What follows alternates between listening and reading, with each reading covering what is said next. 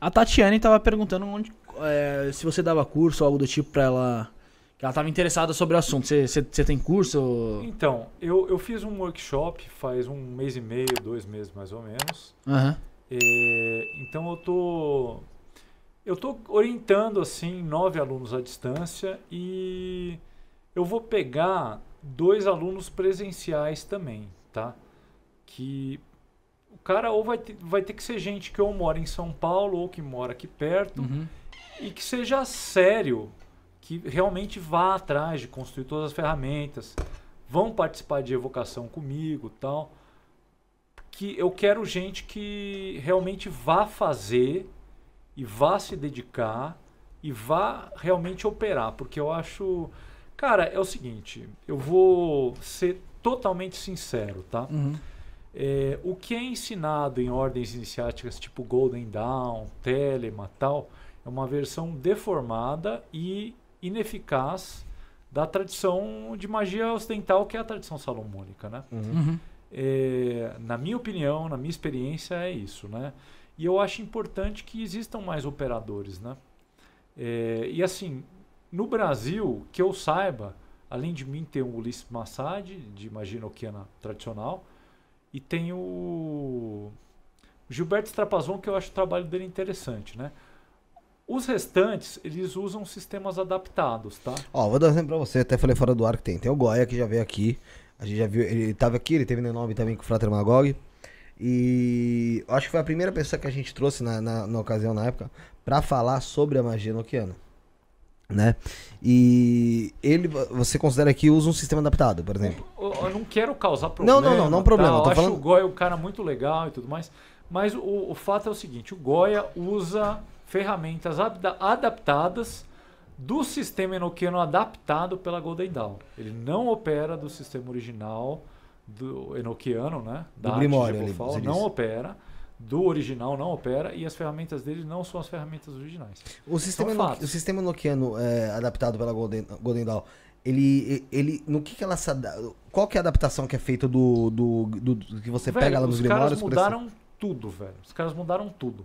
Os caras mudaram nome de entidade, mudaram eh, as ferramentas que você usa na mesa.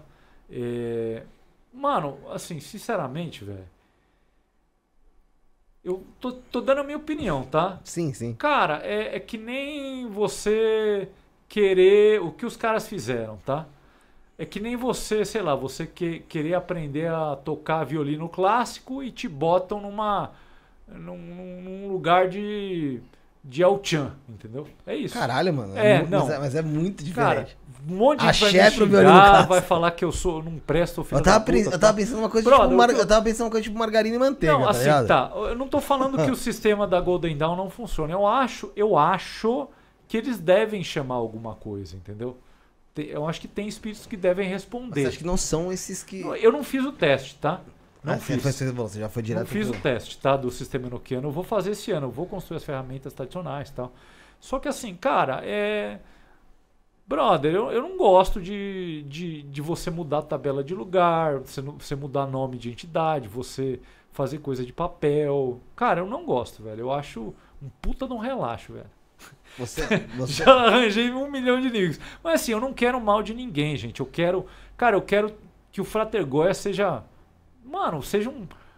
Tenha sucesso em tudo na vida dele. Quero que Não, todo o pessoal. do Goya. Eu, eu, eu, eu desejo realmente o melhor. Mas assim, falando do sistema da adaptação enoquiana do, do, da magia enoquiana, é isso. Eu dei Essa é exemplo do, eu, eu dei exemplo do Goya, só só o pessoal não achar que ah, é polêmica. Eu dei o exemplo do Goya porque quem a gente conhece que a gente trouxe aqui pra falar de, de magia noquiana, nesse ponto, foi o Ulisses e o Goya.